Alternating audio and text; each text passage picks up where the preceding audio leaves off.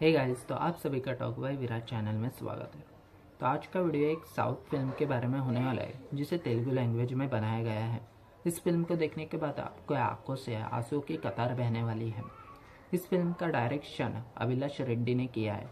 इस फ़िल्म में अन्य कलाकार भी है, जैसे कि हर्षित रेड्डी, सुधीर बाबू, आरानी, आमानी जैसे अन्य कलाकार इस फ़िल्म में आपको देखने को मिलने वाले हैं।